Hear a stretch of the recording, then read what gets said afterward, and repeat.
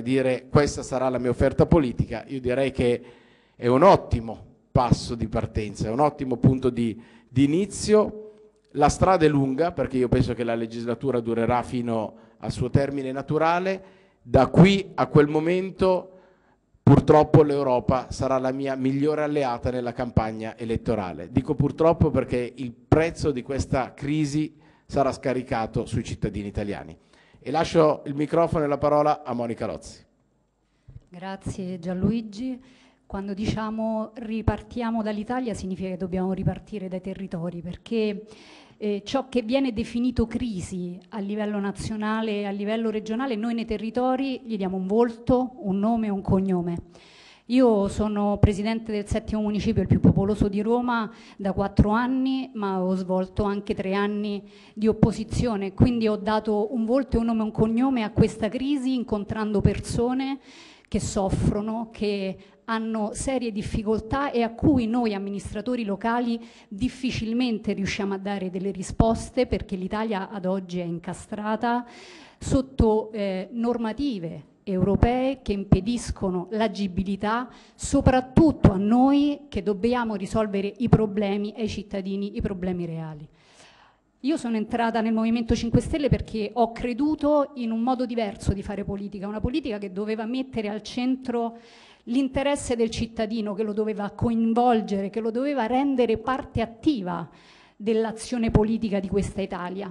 Mi ritrovo oggi in un movimento che ha reso i cittadini dei fan, Oggi non c'è più eh, un, un seguace del movimento che abbia eh, la capacità di poter criticare in modo positivo perché di solito viene annullato, cancellato o espulso. E non solo, mi, un, mi, sono ritrovata in un movimento verticistico senza spazi di condivisione democratica dove poter definire insieme coi territori le linee, da, le linee politiche da poter declinare dai territori al nazionale. Ho provato su Roma in ogni modo a chiedere questo spazio, soprattutto perché Roma Capitale penso che meriti un'attenzione da, eh, da parte di un movimento politico che voleva insomma, essere il primo partito eh, dell'Italia, anche perché la capitale, in base a come viene governata, è lo specchietto di tornasole nei confronti del resto del mondo. Non c'è stato. La mia amministrazione, il settimo municipio, eh, ha invece messo in pratica tutti quei principi. Noi ad oggi, a quattro anni dalle elezioni, abbiamo portato a casa il 90% del nostro programma elettorale e lo abbiamo fatto nel confronto con i territori confrontandoci giorno dopo giorno con la cittadinanza, anche quando la trovavamo arrabbiata, ci abbiamo messo la faccia e quando io parlo al plurale, perché non sono una politica che dice io, io, io, sono stata abituata a, a, a fare politica di squadra, una squadra è quella che vince sui territori, quando si lavora insieme alla, ai cittadini, ai territori e si porta avanti un programma. Casette dei casa, l'abusivismo Casamonica è una delle battaglie che abbiamo vinto ed oggi se andiamo a sentire in tutta Italia è stata Virginia Raggi. Virginia sì, ha avuto la sua parte eh, nella parte finale quando ha messo a disposizione del municipio 600 uomini della polizia locale, ma noi abbiamo lavorato per un anno e mezzo a fianco del viceprefetto che seguiva il tavolo municipale insieme ai nostri uffici, abbiamo tirato fuori dal cassetto eh, atti del 1985, ma non perché volevamo buttare giù le casette di Casamonica, perché volevamo lavorare sul ripristino della legalità a prescindere di chi fossero gli abusi, ma eh, quelli erano i più antichi e quindi armatoci tutti di coraggio abbiamo affrontato e siamo riusciti a portare a casa quel, quel risultato, ma ne abbiamo portati a casa tantissimi altri. È solo che nel movimento nessuno riconosce più il valore delle persone che stanno all'interno. Nessuno pensa che un territorio possa dare delle proposte concrete. Si scelgono le persone prima dei temi, non si ha una visione della città e quindi ho deciso oggi di uscire perché noi invece una visione di città ce l'abbiamo. Noi sappiamo come ripartire per una Roma migliore perché lo abbiamo fatto. E se Roma è incastrata da un punto di vista burocratico e amministrativo, perché noi siamo comunque riusciti a portare a casa il 90% del nostro programma? Perché c'è un meccanismo, Basta riorganizzare questa città, basta portare a casa quel decentramento amministrativo di cui tanti parlano da sempre e mai lo fanno. Bisogna sedersi a livello nazionale e dialogare col governo per la riforma di Roma Capitale, se vogliamo una capitale all'altezza del mondo, non dell'Europa, visto che ad oggi l'Unione Europea non ci rappresenta. Abbiamo questa proposta e nessuno l'ha voluta ascoltare, invece parlando con Gianluigi sta credendo in noi.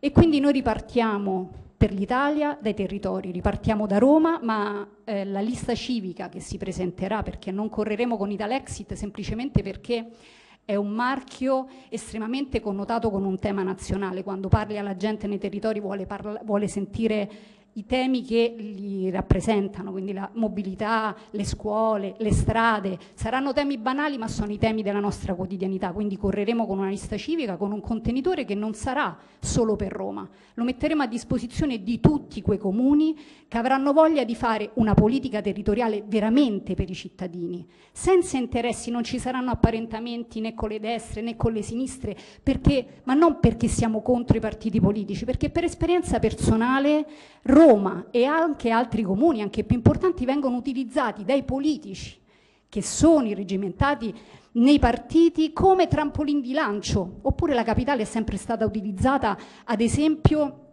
come uno, un campo di battaglia per guerre che vengono combattute ad altri livelli. E a me non sta più bene. La mia città merita di più e merita di meglio e quindi quello che noi vorremmo è cercare il sostegno di tutte quelle persone che della, dal, dalla società hanno, com, hanno combattuto per questa città, hanno lavorato per questa città semplicemente perché è casa loro e quindi la nostra politica sarà questa per Roma e sarà questa per ogni comune che vorrà seguirci. Grazie.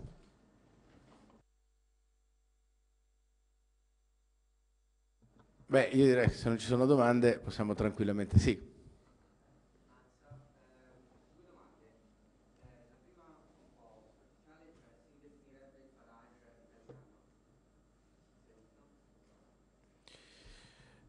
Mm, le autodefinizioni di solito non portano mai bene, eh, però sicuramente abbiamo la, la condivisione di un progetto politico che lui ha realizzato col tempo e quindi eh, va da sé che la medaglia d'oro lui l'ha guadagnata. Io adesso voglio gareggiare, quindi se, se mettersi sulla scia di uno che ha preso la medaglia d'oro porta bene, lo faccio come.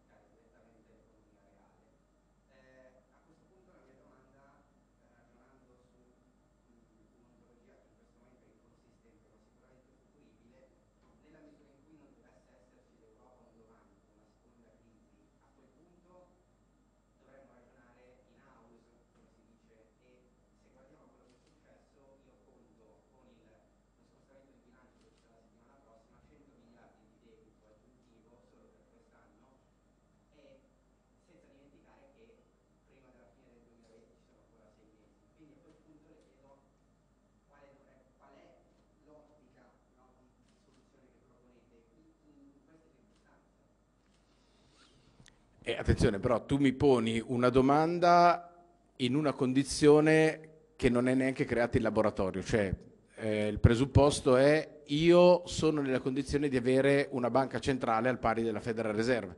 Se, la, se questo è il presupposto su cui mi inviti al ragionamento, ti dico faccio esattamente quello che fanno i paesi con delle banche centrali.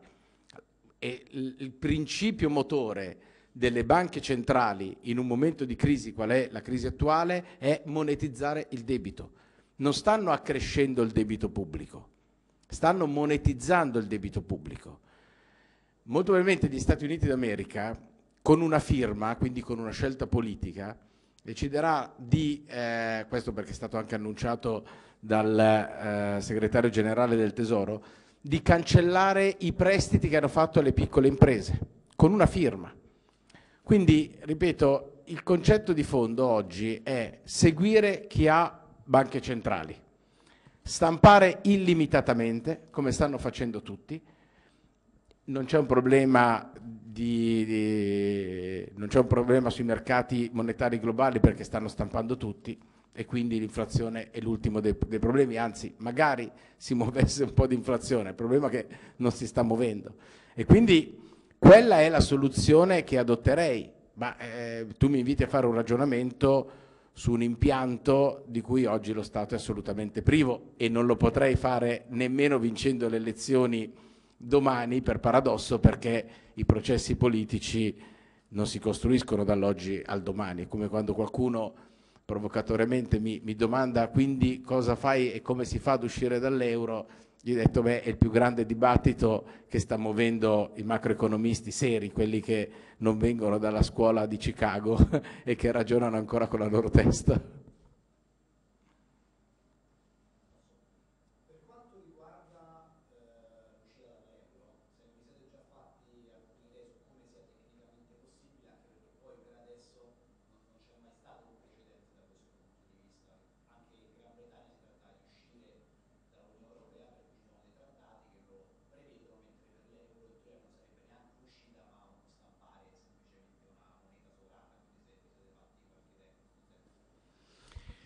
L'idea ovviamente è un'idea di tipo politico. Eh, come primo segnale devi, devi uscire dal, dall'Unione. Ma ti dico anche che sono convinto che è il processo dell'Unione Europea che andrà a consunzione.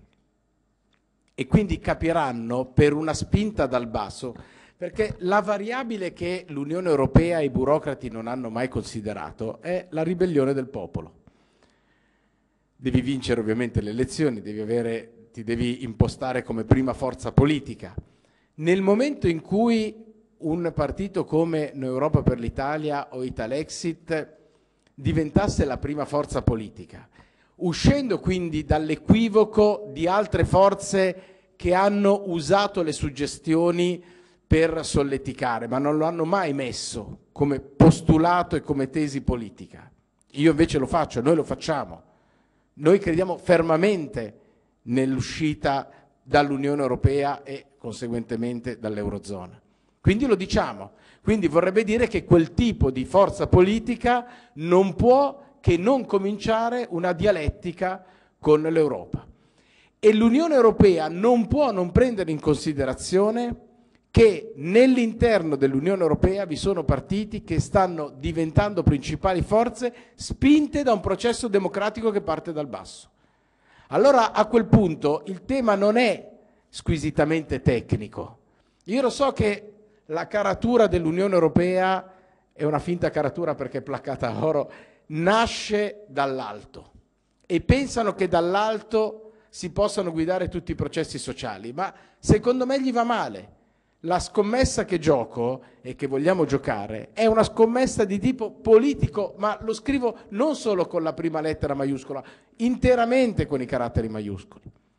Perché la sfida necessaria all'Unione Europea è una sfida politica e l'Europa non vuole ragionare politicamente, anche oggi ci ricaccia sempre dentro dei meccanismi di tipo finanziario.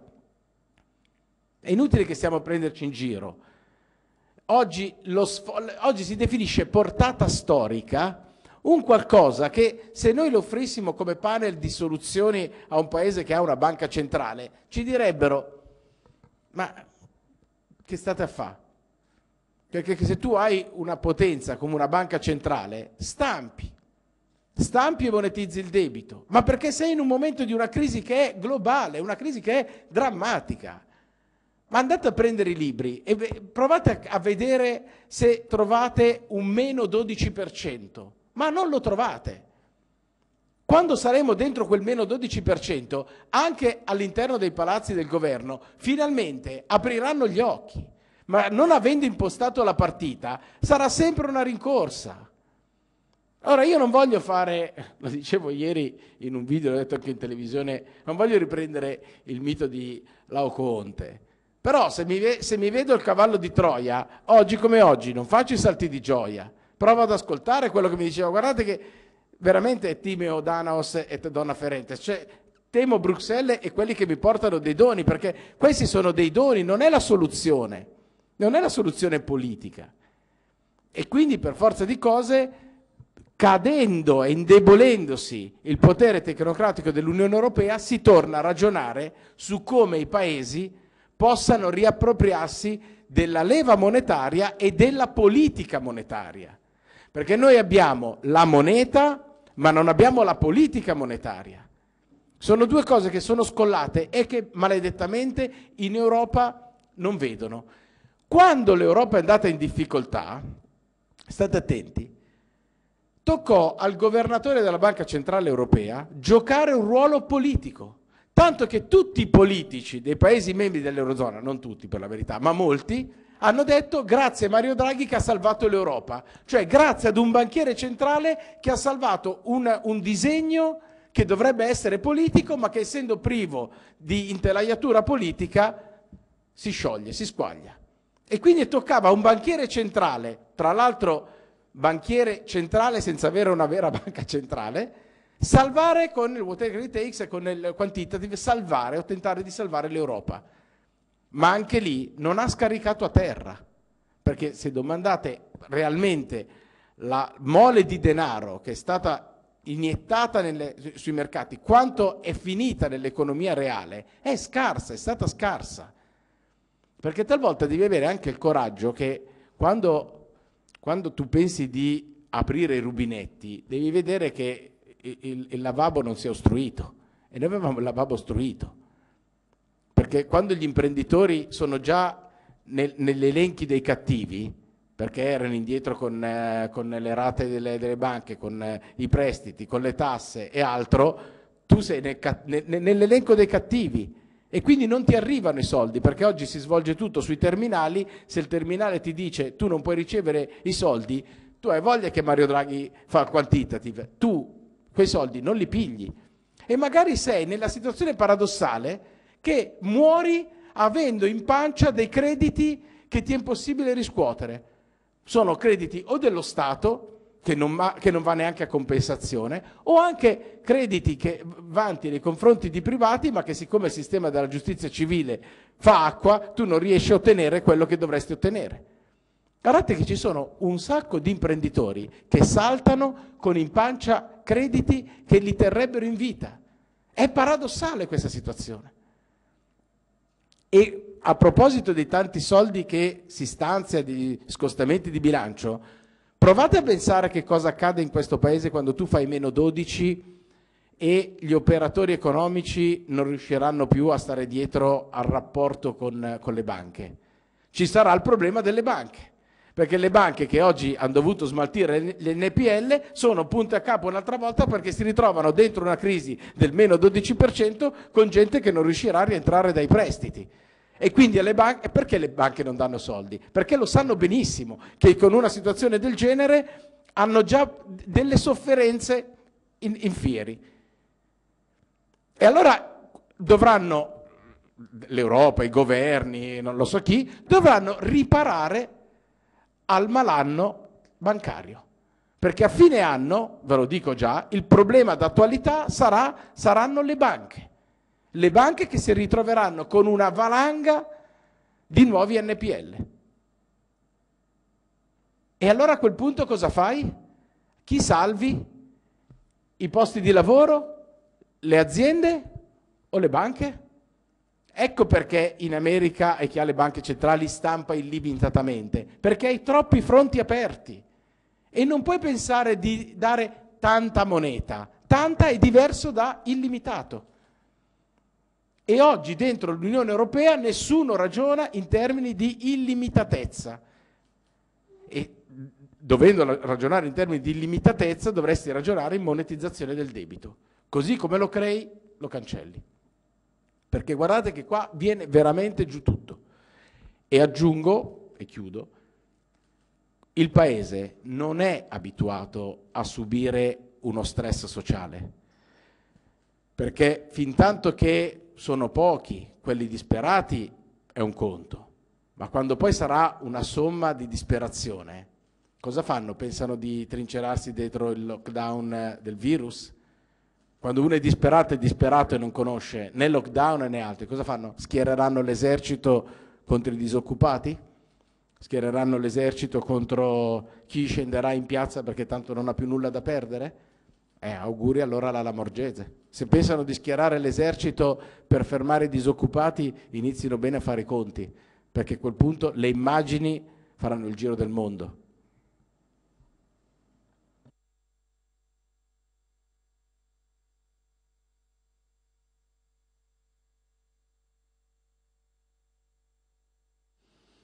Beh, perché evidentemente il, il, movimento di sicuro non ha la, la, struttura politica, la tesi politica. Ha accarezzato una suggestione, ma non ha studiato. Non ha una tesi politica il movimento. Andava anche bene eh, la suggestione. Io eh, ero conscio che un movimento giovane non potesse essere strutturato da un punto di vista di tesi, perché è un processo un po' difficile, un po' elaborato, ma sarebbe bastato anche tenere il punto sulla suggestione. Io lo ripeto e lo dico sempre, io sarei stato buttato fuori anche con il governo giallo-verde, perché per me Tria non aveva una visione politica tanto diversa nella sua matrice da quella che, che Gualtieri esaspera. Però sarei stato sbattuto fuori in, termini, in, in, in ugual modo, perché anche Tria sarebbe stato dentro la stessa politica comandata da Bruxelles. E io invece speravo e avrei sperato di avere, forte di un 33%, di costruire una diga, io di, di sottoporre a stress l'Unione Europea. Quella era l'azione politica che avrebbe dovuto fare un Movimento 5 Stelle forte del 33% e una Lega che era dentro il centrodestra la prima forza. Ora, ognuno ha dei pezzi, perché anche dentro il movimento c'è ancora qualcuno che ragiona come ragiono io.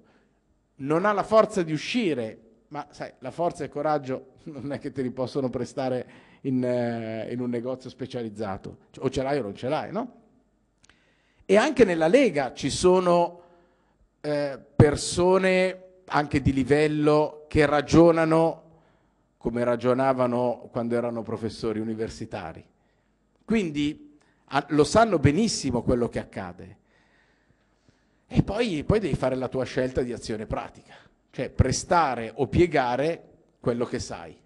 Se lo presti all'azione politica diventa la tua tesi di governo. Se ti pieghi vuol dire che hai capito e hai messo a fuoco il tema di difficoltà, ma hai deciso di perseguire altre, altre, altre visioni politiche. Quindi eh, era Tria al posto di un, altro, di un, altro, ministro. Io per esempio per, per provocazione dissi, se il governo con il PD dovesse avere un ministro alla Stefano Fassina, un ministro dell'economia e delle finanze, alla Stefano Fassina, alla Emiliano Brancaccio, cioè per far capire la fisionomia del... l'avrei votato. Perché non è un problema di Tizio Caio Sempronio, è un problema di quale tesi politica metti come addensante del tuo governo. Se mi vai a prendere dal, da Bruxelles Gualtieri, che ti ha scritto quelle norme lì, è chiaro che il tuo addensante politico è l'addensante che ti hanno dato a Bruxelles e quindi stai dentro la stessa architettura dell'Unione Europea, ma è un'architettura che, per dirla con Stiglitz, Krugman e tanti altri, è un'architettura che ha distribuito male il peso e quindi quando distribuisci male il peso cade.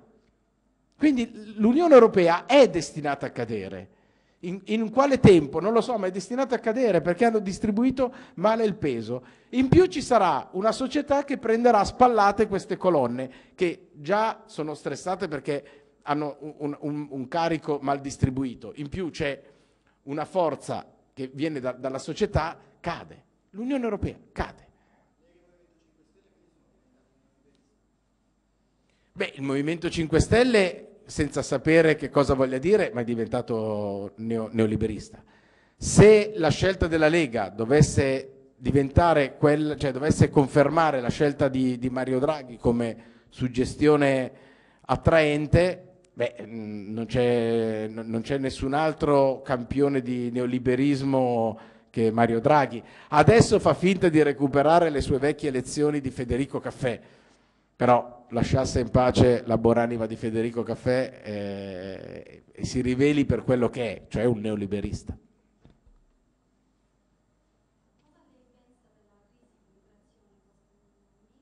La, la crisi?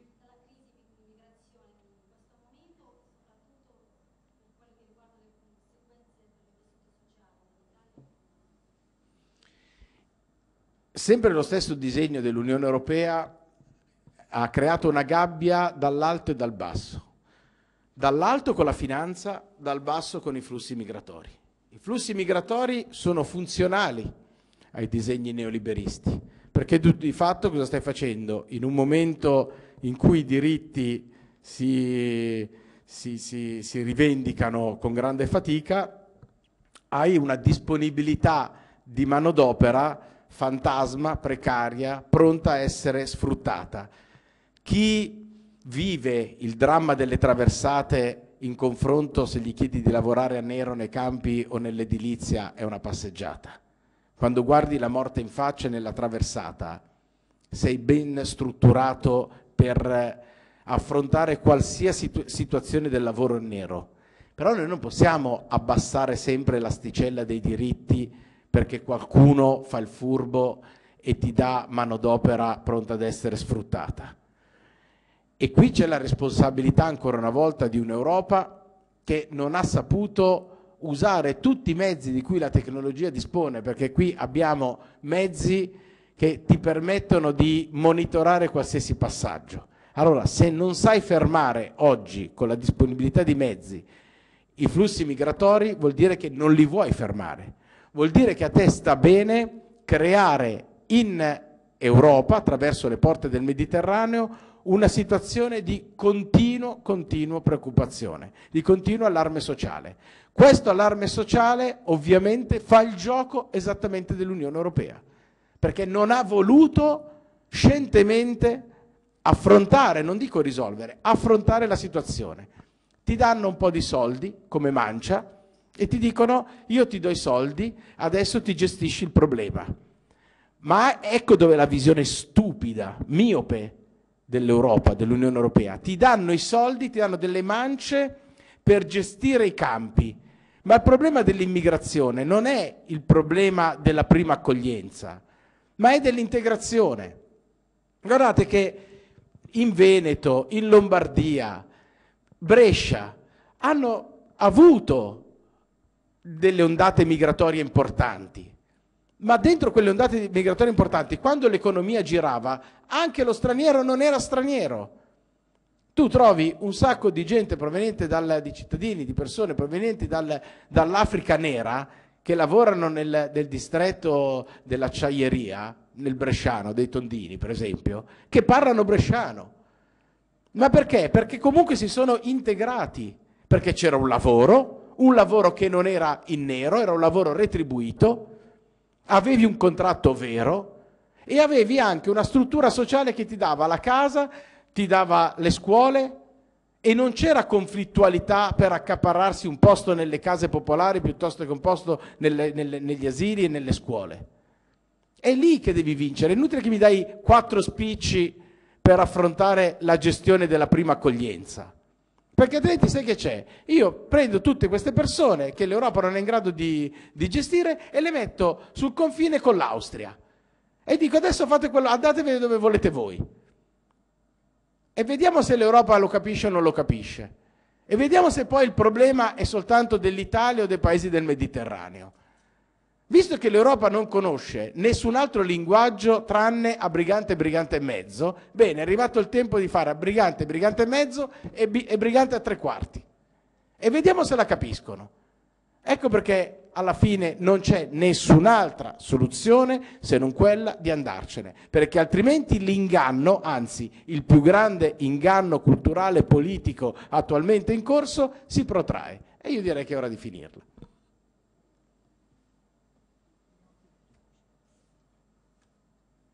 Posto?